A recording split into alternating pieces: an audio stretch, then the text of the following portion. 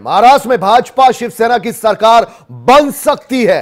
भाजपा प्रदेश अध्यक्ष चंद्रकांत पाटिल ने दिए संकेत। गठबंधन की सरकार बने, हम यही चाहते हैं, उन्होंने कहा। जनता ने गठबंधन के लिए जनादेश दिया है।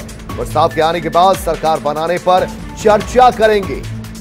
तो 9 नवंबर तक पिछली विधानसभा का कार्यकाल है, उससे पहले पहले सरकार बनाने का दावा पेश करना है, लेकिन सबसे बड़ी पार्टी भारतीय जनता पार्टी ने अभी तक सरकार बनाने का दावा पेश नहीं किया है, लेकिन अब अगले कुछ दिनों में, या फिर कहें कि एक से दो दिनों में, स्थितियाँ पूरी तरह से साफ़ होकर सामने आ सकती हैं।